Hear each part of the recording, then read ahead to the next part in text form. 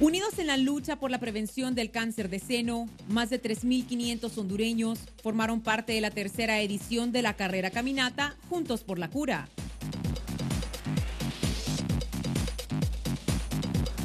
El Comité Pro Ayuda del Hospital San Felipe agradeció por el apoyo brindado a lo largo de estos años e indicó que los fondos recaudados en la actividad serán utilizados para mejorar las instalaciones, compra de equipo y medicamentos para los pacientes de oncología.